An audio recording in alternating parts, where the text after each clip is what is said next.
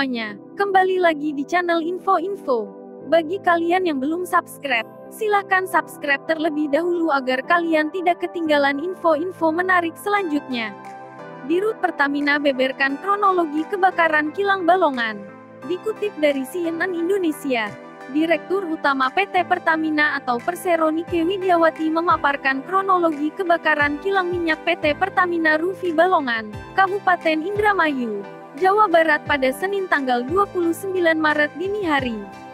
Saya ingin sampaikan beberapa poin. Pada jam 0.45 dini hari terjadi insiden kebakaran di tangki T301 di area Kilang Balongan, papar Nike dalam konferensi pers, Senin tanggal 29 Maret tahun 2021.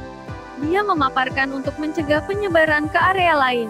Pertamina langsung normal shutdown kilang, agar arus minyak berhenti dan mencegah perluasan kebakaran, paparnya. Nike mengungkap kondisi saat ini api sudah bisa dilokalisir, sehingga pihaknya bisa memastikan bahwa api tidak menjalar ke wilayah lain. Nike pun menegaskan pihaknya akan memastikan tidak terjadi apa pun di sekitar kilang minyak. Dengan kejadian ini kami pastikan pasokan BBM aman karena sebenarnya dalam pola suplai kami ada skenario dalam operasi emergensi. Jadi kami optimalkan produk dari kilang lain dan salurkan langsung salurkan ke daerah-daerah yang selama ini disuplai balongan yaitu Jakarta dan Cikampek, tegasnya. Nike pun menegaskan kilang atau proses di kilang balongan tidak terdampak. Pasalnya, kebakaran hanya di daerah tangki. Sejalan dengan itu, Direktur Logistik dan Infrastruktur Pertamina Mulyono menegaskan stok BBM nasional aman usai kilang balongan di Indramayu milik Pertamina terbakar. Mulyono memaparkan stok gasolin tercatat ada 10,5 juta barel dan diperkirakan cukup untuk 27-28 hari ke depan. Jadi tidak ada masalah untuk gasolin karena permintaan 390 megabit atau 62,5 ribu kiloliter, ujarnya dalam press conference, Senin tanggal 29 Maret tahun 2021.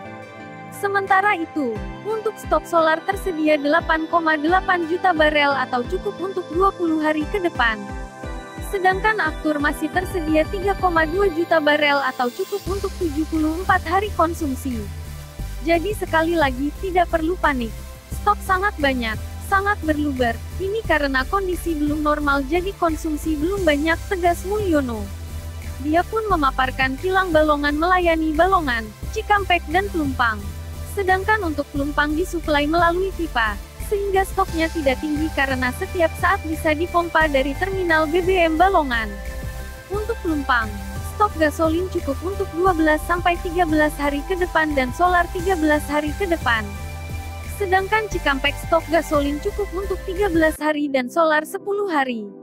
Terakhir, untuk balongan stok gasolin cukup untuk di atas 10 hari dan solar cukup untuk di atas 20 hari.